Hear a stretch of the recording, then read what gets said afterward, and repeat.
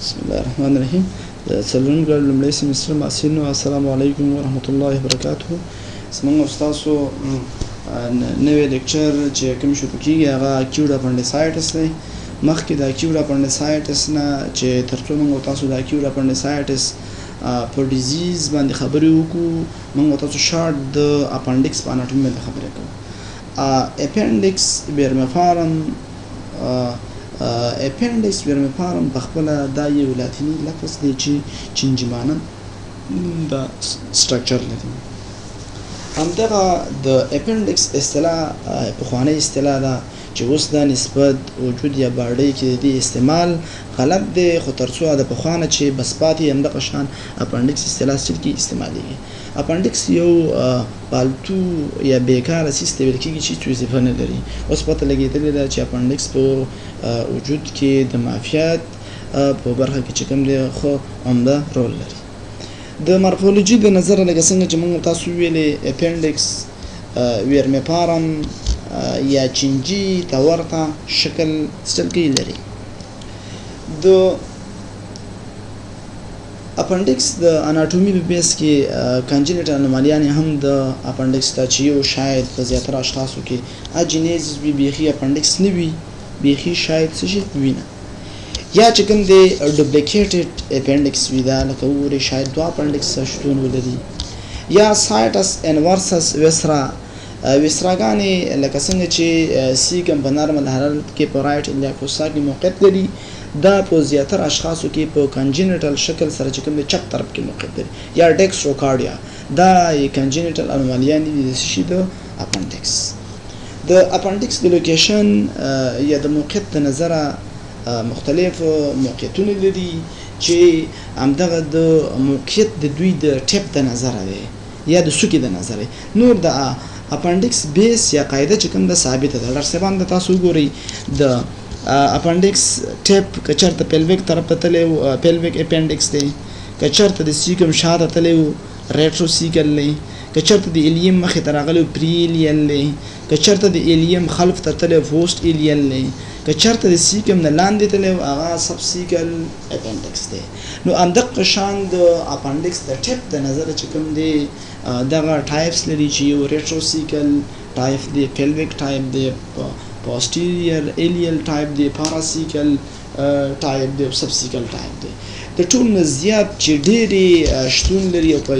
وی هغه ریټرو سیګل دی شما کې تاسو ګوري دا ډېره زیاته غټه فیصدي چې کوم ده دا سلور او یا فیصد دا ریټرو سیګل څه شي دی اپنډکس دی چې دا څه شي لري موقعیت لري دغه نور اشکار چې کوم دي دا لکه اوس موږ تاسو ته نشو ویلی چې اپنډکس موقع څو په څو موقعیتونو کې قرار لري داسې نه داسې سوال به زموږ وي چې اپنډکس د ټیپ د نظره څونه ولري چې دغه نوع یا ټایپس عبارت دي له ریټروسیکل پیلویک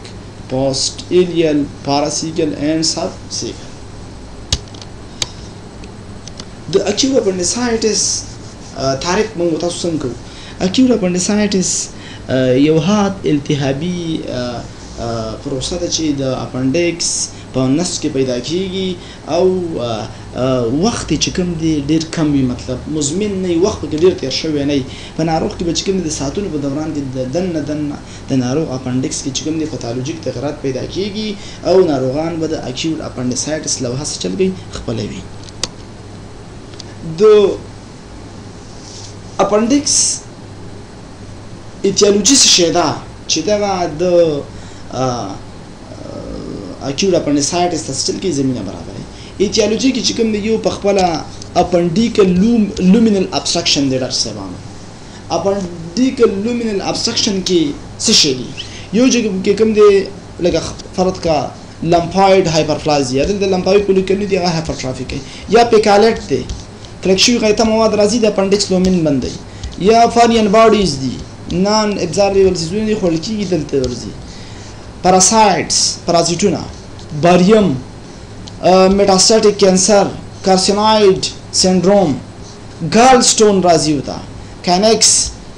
اینډومټرایټس، اډهیژن او کرون ډیزیز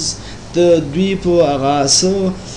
اسبابو کې شامل دي چې د اپنډکس لومین بندوي او په ناروغانو کې د اکیوډ اپنډسایټس له وحه چل کوي تفصیلي دلته تاسو وګورئ دا د اپنډکس لومین دی کله چې د اپنډکس لومین ته مربوطه اسبابو نه یو هم راشي د مربوطه پراکسیمل پارټ بندیږي کله چې هغه بند شو داخل د اپنډکس لومین کې خپل چې کوم پاتالوجي د هغه چل کیږي پر مخ ځي اوس راځو موږ تاسو د اکیوټ اپنډیسایټس په پاتوفیزیولوژي باندې خبره کوو چې د هر علت له کبله د اپنډکس پراکسیمل پارت بند شو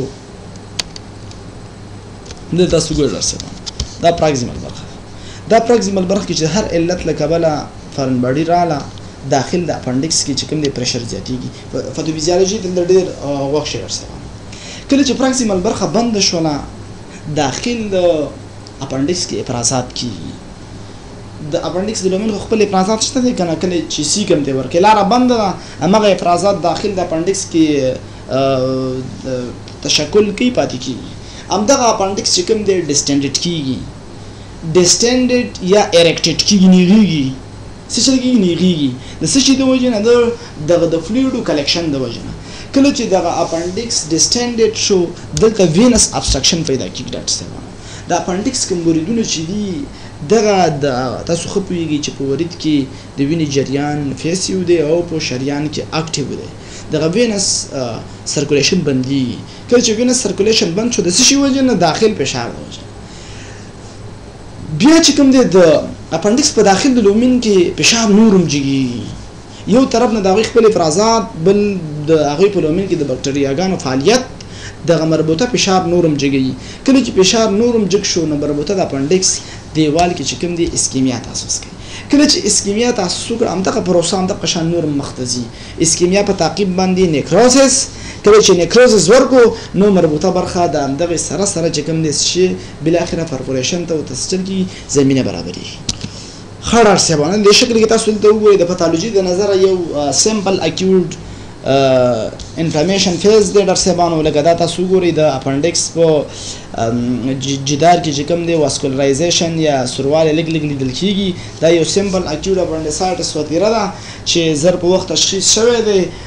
نور ډېر زیات هغه کوم نیکروټیک او ګانګرینیټي تغیرات چې کوم دي هغه پکې تاسوس نه دی کړی نه دي شوي دا بل شکل چې دلته تاسو ګورئ ډارسیوانو دا سپوریشن فیز دی چې دې برخه کې پس هغه د دغه چې کوم دي د اپنډکس په جدار کې چې کوم دي سل کېږي لیدل کېږي او بل اخر بل چې کوم دی هغه ګنګننیټډ یا ګنګن شوی اپنډکس دی چې همدغه بالکل تک تور ښکاری دا یې د اناټومي پتالوژي د نظره دي شو یو څو ټایپونه دلته تاسو وګورئ ډارسیبانو پتالوژیک پرا او ګریس اپ اکیوټ اپنډیسایټس دلته وګورئ ډارسیبانو ما تاسو ته خبره وکړه چې د اپنډکس بیس یا قاعده چې د هر علت له کبله بند شوله داخل د اپنډکس کې چې کوم دی د دوی هغه پریشر چې که چرته دغه داخلی پرشر د اپنډکس چې کله جګیږي او د مربوطه ممانعې باندې فشار زیات و دغه مربوطه دغه چې کوم دا ممانعه چې هغه هرڅه شو کپیکالیټ او کارڅ شو هغه زی چرته سیکم ته سیکم ته لزی سیکم ته چې کله خطا شو د اکیور اپنډیسایټس نه همدغه لوحې ته چې کوم دی ریزولیشن فیز ویل کیږي چې عموما دغه د اپنډکس په جدار کې تغیرات دي ډاکټر صاحبانو هیسټالوجیک تغیرات وي همدغه هغه اپنډکس دی چې کوم کرانیک اپنډکس ورته وایي ځکه هیسټالوجیک تغیرات د اپنډکس په جدار کې شته خو د ناروغ هغه کوم حد اراز او علائم چې دی هغه سټل کیږي سبسایډ کیږي ناروغ سټل کیږي خاموش کیږي بل پروګرس چې کوم دی ډاکټر صاحبانو که چرته ریزولوشن پیز ونه شو مخ ته ځي پرپوریشن ورکوي لکه ما تاسو ته ویل کنه اول وینس سرکولیشن بنديږي بیا آرټیل سرکولیشن بنديږي اسکیمیا بل اخره پرپوریشن دغه پرپوریشن دوا سیر اختیاري ډاکټر صاحب یو چې کوم جنرال پریټنایټس ورکړي بل بالکل اپنډکس رپچر کوي دا غي ټول داخل کې منتن مواد دي بکټریاګانې دي جنرال پیرټنایټس ورکی ټول په بطن کې چې کوم دی ممتن مواد خپرېږي او ناروغ د جنرل پرېټنایټس له هسې چل کې تمثیلي یا خپله وي. دویمې چې کوم د ډاکټر صاحبانو لوکل پرېټنایټس یا اپسې ده چې لوکل پرېټنایټس یا اپسې چې کوم دی عموماً زیاتره د همدغې د رایټ ایلیا فوسا په ساحه کې نږدې یو اپسې تشکل کوي او په مربوطه برخه کې چې کوم دی دغه ممتن مواد راټولېږي او د لوکل پرېټنایټس له هسې چل کې تمثیلوي. بیا خپل لکه څنګه چې موږ تاسو د اکیو اپنډیسایټس په پاتولوژي کې وګتل که چرته د اکیو اپنډیسایټس په اولنی وختونو کې تشخیص وشي او ناروغ ته زر درملنه وشي نو د ناروغانو انظار ښه وي خو هغه ناروغان چې کوم زر د تشخیص نه کیږي یا زر شفاخانه ته مراجعه نه کوي د دغه ناروغانو کلینیکي لوحه د مربوطه اختلاط پورې یا د پتالوجیک پراګرس پورې چې کوم دی ډیپینډ کوي اوس لکه فرض کړئ یو ناروغ دی د اکیوډ اپنډیسایټس په لوحه کې شفاخانه ته مراجعه وکړه راغلی ناروغ سیم په اکیوډ اپنډیسایټس لري اپنډیکټومي ته کې بالکل ناروغ ښه کېږي ځي مطلب هاسپټل سیم کمیږي که چېرته یو ناروغ لوکل پریټونایټس یا لوکل اپسس فارمیشن لوحه کې مراجعه کوي د دې ناروغانو هاسپټل سیم بیا زیاتېږي او د دې ناروغانو هغه انتاني محراق چې کوم دی زیات وي نو د ناروغانو اختلاطاتو فیصدي نسبت سمپل اکیوټ اپنډیسایټس ته زیات دی د جنرال پریټونایټس له نسبت لوګل پریټونایټس ته خطرناک ده ځکه په همدغه وخت کې د ټول منتن مواد چې کوم دی په پیریټینیل کیویټي کې خبريږي کله چې د ټول منتن مواد په پیریټینیل کیویټي کې خبره شو نو د مربوطه پریټینیم په ذریعه مربوطه منتن مواد چې کوم انتان او هر څه شی دی ډاریکت دوران ته جذبیږي ناروغان څه شی ورکوي بکټریمیا ورکوي د بکټریمیا په تعقیب سپټیسیمیا سیپسیس او بالاخره ناروغان ډیر یو ریسکي حالات یا مړینې حالت ته ځي ومن الله توفیق.